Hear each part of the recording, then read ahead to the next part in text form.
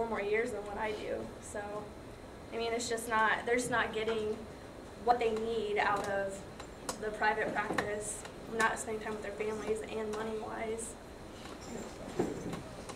Okay, so, oh, any question there? No? Okay. Um, Over time, do you see it becoming more practical, or do you think it's going to die out over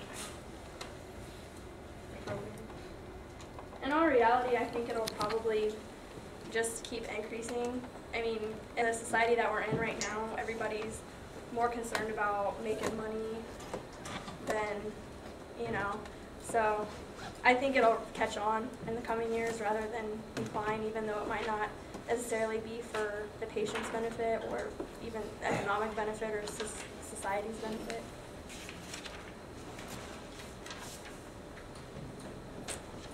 Yes. Yes, I know. And another question would be this: as you know, I mean, you know, in short term, right, uh, paying off the medical school bills or paying off the pharmacy school bills, you know, of course, short, term, uh, the debt is a concern. But as you know, in the long run, right, the investment in pharmacy school, investment in medical school, it will pay you off, uh, obviously, you know. As you know, I mean, education is the greatest investment uh, uh, anybody can make, uh, right? Barack Obama proves that, right? But point is that, so I mean, so in the long run, of course, you will get the payoff, uh, you know, if you if you if you finish up your medical school a pharmacy school. But why, why do you think we have this uh, so much shortage uh, of, for example, uh, like surgeons or doctors in general? Why, why do you think? I mean, in the long run, I mean, money is not the issue, you know?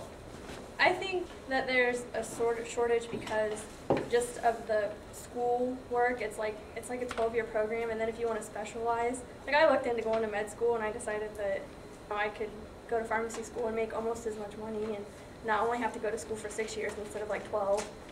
And even though like they make all that money, like the lady in the article, her name was Dr. Peppers, which I thought was kind of funny, but um, she was talking about how she